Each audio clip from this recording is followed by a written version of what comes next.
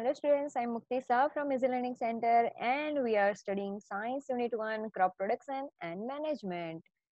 Till now we have studied some basic agricultural practices.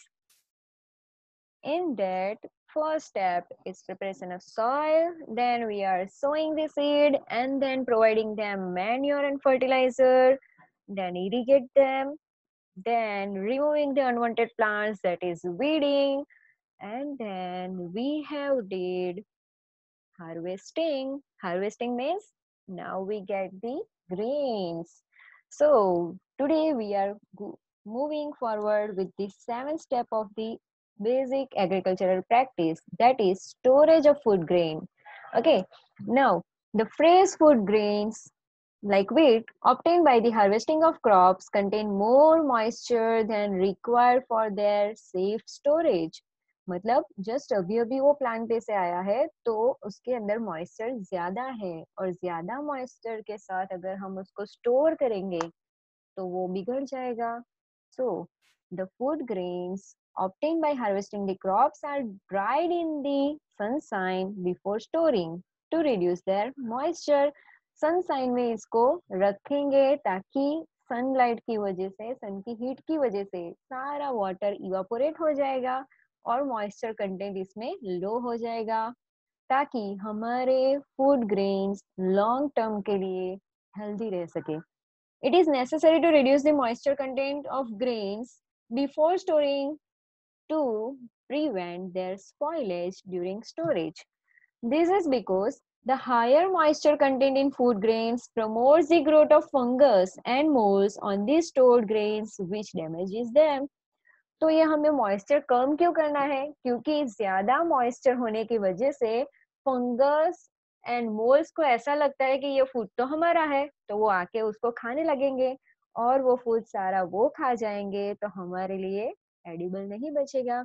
Okay so इन सबसे बचाने के लिए हमें इसमें से मॉइस्चर रिमूव करना पड़ेगा and makes them loss their germination capacity even germination capacity भी लॉस हो जाएगी अगर वहाँ पे फंगस और मोल्ड आ गए।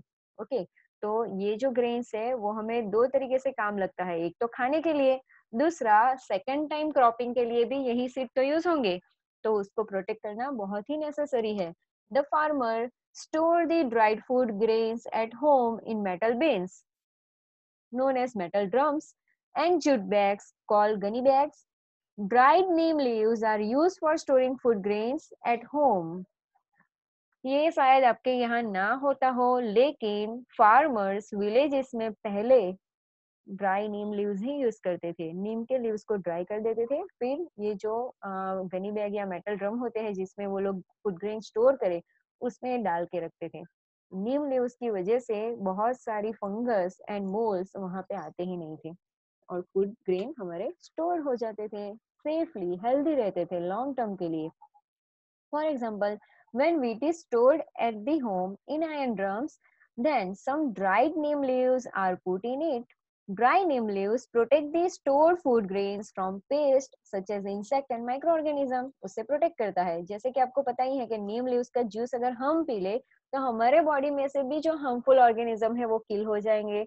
और हमें फीवर नहीं होगा मतलब we are protected from the microorganism same way neem leaves protect the food grain also from the microorganisms okay now the government agencies like F C I ये नाम आप याद रखना फुल फॉर्म कई बार एमसीक्यू में पूछेंगे give what is the full form of F I तो F for food C for corporation and I for our India so food corporation of india fci buy grains from farmers on large scale and store it in big godowns so that it can be supplied throughout the country round the year पूरे साल सारी country के लोगों को ये food supply होती रहे equal amount में इसलिए गवर्नमेंट की जो एक एजेंसी है FCI food corporation of India वो फार्मर के पास से पूरा लॉट मतलब यूज़ अमाउंट जितना भी ग्रो हुआ है, उसमें से बहुत सारा।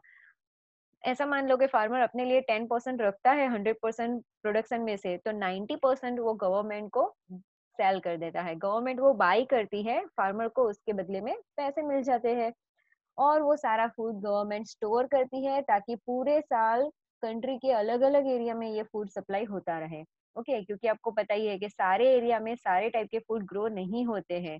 तो जहाँ पे वो जो ग्रो होता है वो अलग अलग स्टेट में पहुंचाना पड़ता है तो वो काम गवर्नमेंट कर देगी। Okay now the large scale storage of food grain is done in two ways. जैसे कि व्हीट एंड राइस है वो लार्ज अमाउंट में स्टोर होते हैं लार्ज स्केल पे।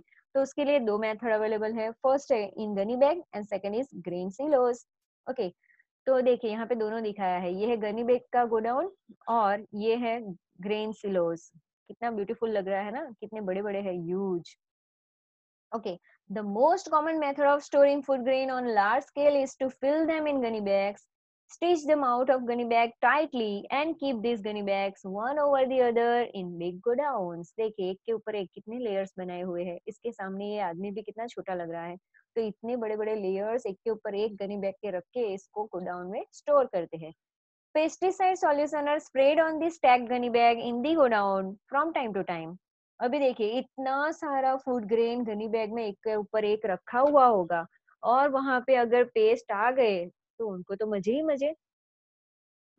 मज़े ही मज़े। उनको ही क्या? उनकी next to next to next बहुत सारी जनरेशन को मज़े ही मज़े।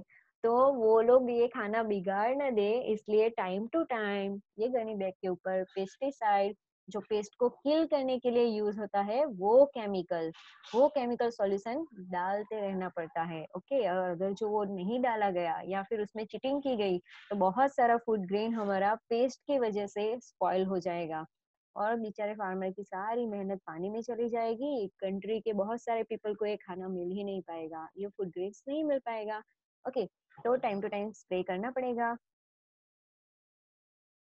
The population of rats in the godown is also controlled by killing them with rat poison from time to time. और आपको पता ही है, ऐसे गोडाउन में जहाँ पे बहुत सारे फ़ूड ग्रेन है, वो तो रेड के लिए फेवरेट है। तो रेड वहाँ आ गया तो उसकी पॉपुलेशन अगर वहाँ पे बढ़ गई तो तो फिर पूछो ही मत। सारी गनी बैग को जगह जगह से वो हॉल कर देगा और सारे फ़ूड ग्रेन खा जाएगा। खाते खाते वो पहले अपनी फैमिली बनाएगा, प्रोडक्शन करके, फिर अपनी ही सोसाइटी बना देगा, फिर वहीं पे अपना विलेज बना देगा और फिर पॉपुलेशन इतना बढ़ाया, बढ़ाएगा कि धीरे धीरे वो वहाँ पे अपनी सिटी, अपनी स्टेट और अपनी कंट्री क्रिएट कर देगा। और तब तो फिर भूल ही जाओ, ये फ़ूड ग्रेन हमारे लिए बचेंगे ही नहीं। तो उससे अच्छा है कि रेड पॉइजन वहाँ पे रखा जाए और रेड वहाँ पे आ ही ना पाए और आ जाए तो वो बच ना पाए। तो ये सारे गोडाउन में स्टोरिंग के टाइम ध्यान में रखने वाली चीज़ें हैं जो गवर्नमेंट करती है। दो, gunny bag is not an ideal container for food grain but its greatest advantage is that food grains fill in gunny bags can be easily transported and distributed at various places हाँ ये gunny bag में रखना है ना, बहुत आसान काम नहीं है। It's a very tedious task and also not safe but still transportation आसान रहता है, इसलिए गनी बैग में स्टोर करते हैं। Okay now in addition to the gunny bag method of storing food grain the grain silos are also use for storing food grain on large scale और bulk storage of food grain तो ये देखिए, ये है silos grain silos बोलते हैं इसको।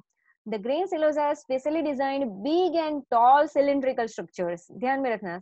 Tall cylindrical structures hai. The grain silos have inbuilt arrangements for the protection of stored food grains from pest and microorganism. उसके अंदर inbuilt ये system रहती है कि जिसमें insect, pest and microorganism आते ही नहीं तो टेंशन ही खत्म और दूसरा ये प्रोटेक्टेड रहते हैं एनवायरमेंट में चेंजेस होने पर भी इसका कोई डैमेज नहीं होगा दे आर प्रोटेक्टेड ओके तो फिर इसमें भर के ट्रांसपोर्टेशन फिर कैसे करेंगे? तो कोई बात नहीं, इसके साथ एक मशीनरी ज्वाइन कर देंगे, जहाँ से गनी बैग भर सकते हैं। तो ये भी हमारा काम आसान हो जाएगा। ये सब काम अभी मशीनरी कर रही है। ह्यूमन को तो टेंशन लेने की ज़रूरत ही नहीं। कुछ ग्रुप ऑफ़ ह्यूमंस ने बहुत सारी टेक्नोलॉजी डेवलप कर दी है, बहुत सारे मशीन डेवलप कर दिए है, जिससे काम आसान हो जाए। ओके तो ये बिग सिलोज रखना ग्रेन सिलोज रखना, बहुत ही इंटेलिजेंसी वाली बात होगी। ओके नाउ हमारा तो हो चुका। मतलब seven steps are finish now agricultural practices now what about the animals food from animals मतलब एनिमल्स के पास से जो हमें फ़ूड मिलता है तो उनका रियरिंग कैसे करें? ये तो हो गया वेजिटेबल वाली बात प्लांट्स वाली बात क्रॉप वाली बात प्लांट्स वाली बात. लेकिन what about the animals from which we are gaining our required food देखते हैं अभी नेक्स्ट टॉपिक में ये Though we get most of our food from crop plants, animals also provide us food. बहुत सारा plant, most of our food we are getting from crop plants, but animals are also providing us some food. The food provided by animal consist of milk, जिससे हमारी सुबह होती है फिर वो milk तो सबके सब यूज़ करते ही है वो वेजिटेरियन हो या नॉन वेजिटेरियन सबको मिल्क चाहिए ही चाहिए नेक्स्ट है एनिमल से मिलने वाला एग्स एंड मीट जो नॉन वेजिटेरियन पीपल के लिए फ़ूड है और उसका मेजर सोर्स है now the food obtain from animals is very rich in protein जो एनिमल से हमें फ़ूड मिलता है this is very very rich in protein. In fact, animal food provides certain proteins which are not present in plant food. Animal के food में से कुछ ऐसे प्रोटीन मिलते हैं जो क्रॉप प्लांट पे प्रेजेंट ही नहीं है most of the food obtained from animal also contain a good amount of fat but it contains very little of carbohydrate उसमें से आपको कार्बोहाइड्रेट कम मिलेगा लेकिन उसके बदले में आपको गुड अमाउंट ऑफ फैट मिल जाएगा और गुड अमाउंट ऑफ प्रोटीन मिल जाएगा animal food however contain minerals and vitamin also the food obtained from animal is more expensive than that of obtained from plant sources the animal which provide us food are mainly of two types दो type के animals हैं। Milk animal milk yielding animals and meat and egg yielding animals दो type के animals हैं। Milk animals and meat and egg yielding animals now देखते हैं milk animal किसे बोलते हैं? तो मिल्क यील्डिंग मतलब मिल्क बनाने वाले एनिमल्स तो वो है cow buffalo goat milk is perfect natural diet milk and its product we are calling it dairy products like butter, ghee, curd, cheese और हाईली न्यूट्रिशियस फ़ूड हाँ चीज़ वर्ड आते ही आपके मुँह में पानी, आ गया होगा ना? चीज़ का आप सबका बहुत फेवरेट है।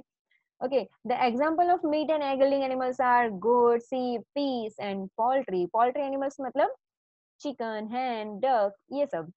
Now out of this animals goat sheep and pigs give us meat poultry gives us meat as well as eggs honey is another nutritious food which we are obtaining from the animals and it is obtained from insect called bees. Honey bees में से हमें honey मिलता है, okay? तो ये सारे food item हो गए और वो फ़ूड आइटम जो एनिमल से मिलते हैं, वो कौन कौन से एनिमल क्या क्या देते हैं, ये हमने देख लिया। लेकिन ये सारे जो एनिमल है, उसको हम, जैसे हमने क्रॉप ग्रो किए फार्म में, वैसे ये एनिमल का क्या करेंगे? तो उसका करेंगे एनिमल हस्बेंडरी हाँ ये हस्बैंड वर्ड देख के कुछ लोगों को ऐसा लगता होगा कि मतलब उसकी शादी करवाएँगे उसका हस्बैंड गेन करेंगे नो एनिमल हस्बेंडरी इसका मीनिंग होता है the branch of agriculture which deals with the feeding shelter health and breeding of domestic animal that is called animal husbandry मतलब ध्यान में रखना इसमें हमें करना क्या है जो भी हमारे लिए प्रोडक्ट जनरेट करते हैं, ऐसे एनिमल्स को हमें फीडिंग करवाना है सेल्टर प्रोवाइड करना है, उनकी हेल्थ का ध्यान रखना है और ब्रीडिंग करवाना है। ये चार मेन काम है जो एनिमल हस्बेंडरी के साथ कनेक्टेड है। ओके नाउ आगे देखते हैं। The various practices necessary for raising animals for food and other purposes or the elements of animal husbandry elements क्या क्या है? क्या क्या नेसेसिटी है एनिमल को रियर करने के लिए? तो फ़र्स्ट है proper feeding of animal second है प्रॉपर सेल्टर थर्ड है prevention and cure of animal disease fourth है प्रॉपर ब्रीडिंग ऑफ़ एनिमल्स ये चार जो हमने पहले देखे वो ही ओके तो देखते हैं आगे। Milk giving animals means milch animals और milch cattle like cows and buffaloes are reared on small scale in rural homes. On a large scale, they are rearing in big dairy farms. आपने देखा ही होगा, हमारे गाँव में भी है, बहुत सारे जो हम बोलते हैं कि ग्वाले लोग, वो बहुत सारी कैटल को ब्रीड करते हैं, अपने घर पे रखते हैं, उनके लिए अलग सेल्टर प्रोवाइड करते हैं फीडिंग का अरेंजमेंट करते हैं और उनका ध्यान रखते हैं। Okay now feeds as food feeds के बारे में देखते हैं। fish is an important source of animal food many people living in the coastal area consume fish as a major part of their diet fish is rich in protein it is a highly nutritious and easily digestible food. Fish liver oil is rich in vitamin A and vitamin D. For example, cod liver oil. आप आपको पता होगा शायद कि code नाम की एक fees आती है जिसका लीवर का ऑयल वो विटामिन ए एंड डी में बहुत ही रिच होता है। वो मेडिसिन में भी काम लगता है मेडिसिन बनाने के लिए भी। ओके तो ये हो गया एनिमल हस्बेंडरी हाँ ये एनिमल हस्बेंडरी वैसे तो बहुत ही ब्रॉड टॉपिक है, लेकिन आपके बुक में सिर्फ़ इतना ही दिया है। बाकी तो ये बहुत ही ब्रॉड टॉपिक है। ये सारे जो एनिमल्स हैं, उनको रियरिंग करने की सब अलग अलग टेक्निक है। जैसे कि, जैसे हम कैटल को रखते हैं, वैसे ही हम पोल्ट्री एनिमल्स को नहीं रख सकेंगे। और पोल्ट्री पोल्ट्री एनिमल्स को जैसे रखते हैं, वैसे ही हम फ़िश को तो नहीं रख पाएँगे ना। और ये सबके रियरिंग का फीडिंग का सेल्टर का हेल्थ का ब्रीडिंग का, सारी सारी टेक्निक्स अलग अलग होती है different different okay so various techniques are there which is not included here, which we will going to learn in standard 9 okay? तो हमारा ये चैप्टर आज खत्म हो रहा है। अभी यहाँ पे कुछ क्वेश्चन आंसर आपकी बुक में दिए हुए हैं। तो वो आपको है ना, अपने आप ये टेक्स्ट बुक में से ढूँढने हैं। अभी बहुत सारे आंसर्स तो यहाँ पे एमसीक्यूज के दिए हुए ही है, ताकि मैं आपको ये होमवर्क में तो दे नहीं सकती, क्योंकि आंसर तो नीचे ही दिए हुए हैं, जो आप आसानी से कॉपी पेस्ट कर सकोगे तो ये मैं होमवर्क में आपको नहीं देने वाली। दूसरा होमवर्क में मैं आपको दूँगी जो ये लॉन्ग आंसर्स है, वो वाले। इसमें देखिए फ़र्स्ट वाला तो मैंने आज होमवर्क में आपको दे ही दिया था, क्योंकि वो टॉपिक हमारा पहले ही चल चुका है। तो बाकी के क्वेश्चन हम लिखेंगे।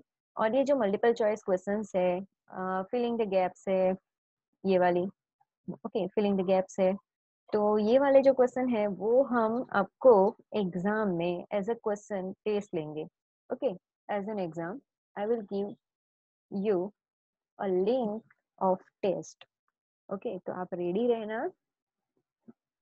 और मुझे पता है, आपको ये चैप्टर बहुत ही अच्छे से आ गया है तो आपको ये टेंशन नहीं रहेगा। आप बोलोगे कि मैम आज ही टेस्ट ले लो, लेकिन sorry I will give you time for reading and I hope you will learn it very properly prepare it very properly, and all of you get full score. Okay, all the best. Be ready with the test. Preparation for the test. Okay. Till that tata bye bye